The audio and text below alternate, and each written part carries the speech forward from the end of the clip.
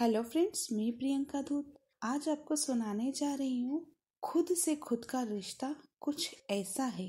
मैं अपना दर्द किसी को कहती नहीं, खुशी बाटू जी भरकर यही कोशिश करती हूँ।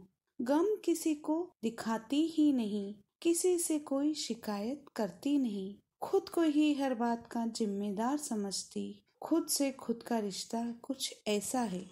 मेरा मानना है हर व्यक्ति में इतनी ताकत तो हो कि अपना दर्द खुद सहन कर ले, अपने दुख सुख खुद वहन कर ले। किसी पर क्या यकीन करना दोस्तों? अपनी बाजुओं पर ही यकीन कर लो। खुद से खुद का रिश्ता कुछ ऐसा है। मैं तो खुद को कभी अकेला पाती नहीं, अकेलेपन से घबराती नहीं। जब खुद खुद के साथ नहीं रह सकते तो लोगों से क्यों उम्मीद करते? खुद से खुद का रिश्ता कुछ ऐसा है। मैंने खुद को खुद के लिए हमेशा फ्री रखा है। खुद को सदा सर्वोपरि ही समझा है। जब से खुद से मैंने उम्मीद लगाई है, तब से ही अपने इस चेहरे पर मुस्कान आई है। खुद से खुद का रिश्ता कुछ ऐसा है, दोस्तों। खुद से खुद का रिश्ता कुछ ऐसा है। Thank you.